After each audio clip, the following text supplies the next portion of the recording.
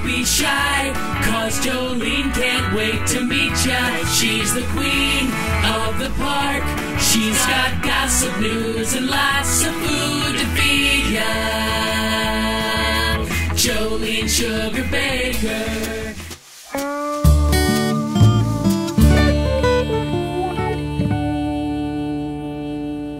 Well, hi there, Trailer Park fans. It's Jolene Sugarbaker, the Trailer Park Queen, and welcome to the Trailer Park Test Kitchen.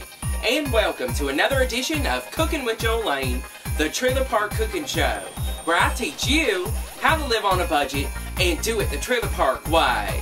Well, there's only a few more days until Trailer Park Christmas, and you know, sometimes you have people that spend the night and they wake up and they want brunch.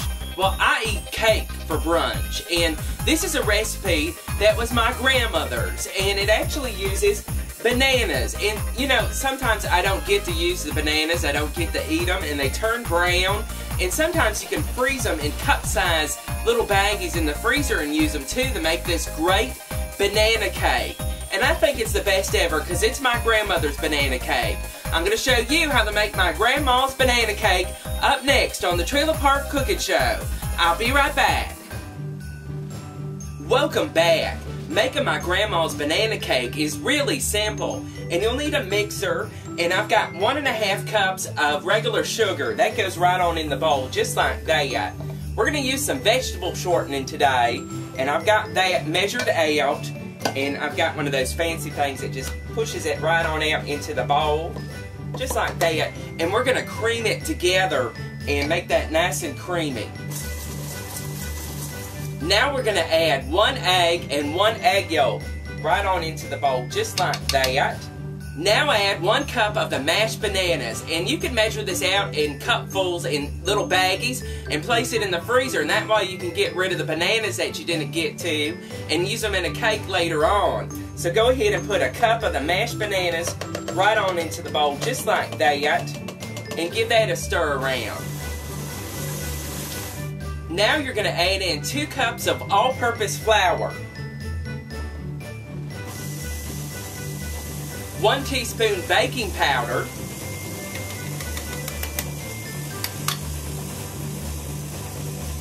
And one teaspoon baking soda. And a half teaspoon of salt.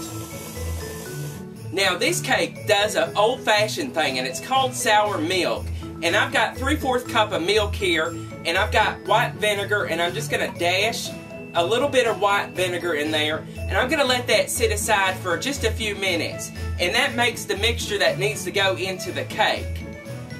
You'll need a 9 by 13 cake pan that you spray down too.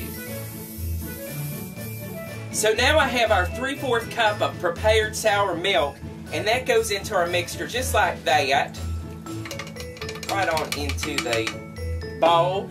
And about a teaspoon of vanilla. And you know I don't measure, so we're just going to put some in there just like that. And we're going to give that a stir around until it's well blended. There we go. Now we have our mixture and we have our spray down 9x13 cake pan. We're going to spread this out into the cake pan. I've preheated the oven to 350 degrees and it's going to bake about 40 or so minutes. You can use a toothpick test to test it out to make sure that it's okay.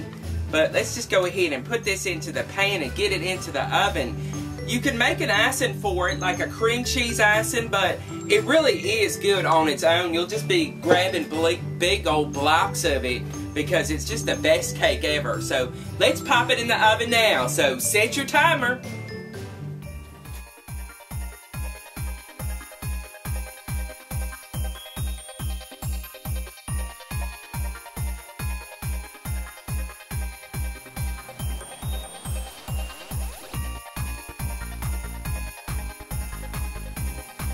And there you have it, my grandmother's banana cake recipe. And it sure is a simple recipe to get rid of all those brown bananas up on your countertop, or you could have froze them and use them in the batter anytime that you wanted to. It's great without a frosting or glaze. Um, it just really is a good cake that you could wrap up and put in somebody's lunchbox. I see the speckles of the banana. You could put nuts in it too.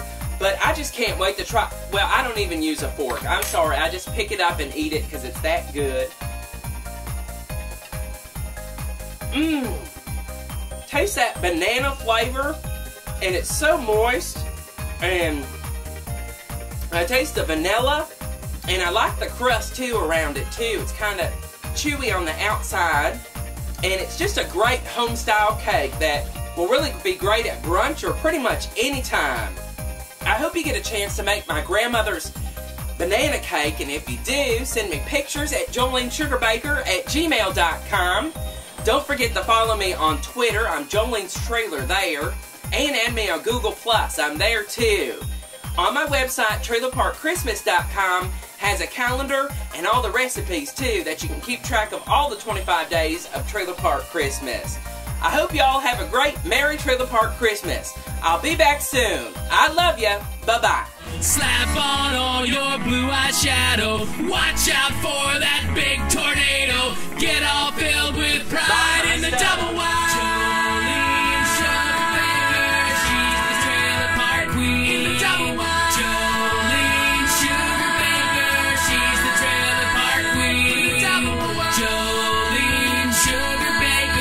She's the trailer park queen. Visit my store at jolenesugarbaker.com.